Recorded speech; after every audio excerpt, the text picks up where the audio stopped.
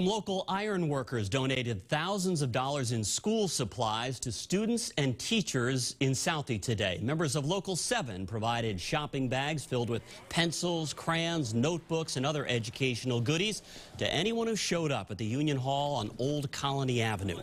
Massachusetts teachers spend an average of $750 of their own money each year on supplies. And some teachers were grateful for the helping hand.